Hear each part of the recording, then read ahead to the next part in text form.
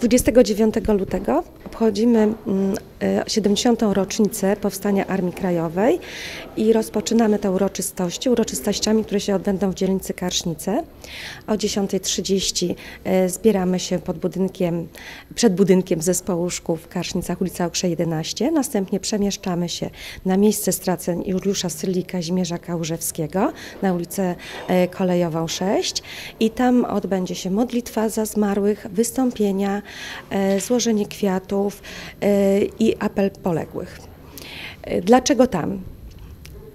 Inna całkiem y, uroczystość, 70. rocznica powstania Armii Krajowej. Kałużewski Sylla to żołnierze Armii Krajowej. Do tej pory obchodziliśmy Dzień Patronów Szkoły y, na terenie Karsznic, przy pomniku, który się znajduje u zbiegu ulicy Kałużewskiego i Sylli.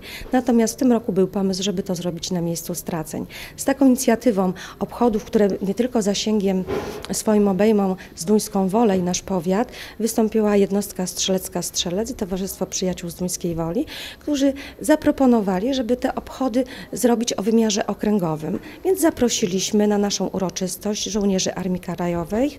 Y, To są prezesi y, ze Światowego Związku Żołnierzy Armii Krajowej, z Piotrkowa Trybunalskiego, ze Skierniewic, z Głodna, z Zarządu Głównego z Warszawy. Mam nadzieję, że ta uroczystość no, w pewnym sensie odda im hołd i cześć jako żołnierzom Armii Krajowej, która nie była doceniana tak od początku. 1 marca uroczystości będą się odbywały e, w Zduńskiej Woli. Dla społeczności Zduńskiej Woli msza będzie w Bazylice. E, Też będzie mm, apel e, żołnierzy, dla żołnierzy poległych. Także też również społeczność zduńsko-wolską, która nie dotrze do Kasznic, zapraszamy 1 marca do Zduńskiej Woli.